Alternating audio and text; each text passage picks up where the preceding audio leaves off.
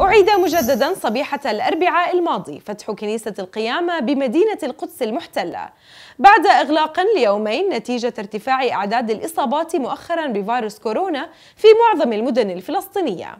وصرح السيد أديب الحسيني أمين مفتاح الكنيسة أن العدد المسموح به للدخول إلى الكنيسة يجب ألا يزيد عن 19 زائرا مع مراعاة التقيد بإرشادات وزارة الصحة الفلسطينية والالتزام بالإجراءات الوقائية وخاصة لبس الكمامات والتباعد بين الزائرين منعا لتفشي وباء كورونا.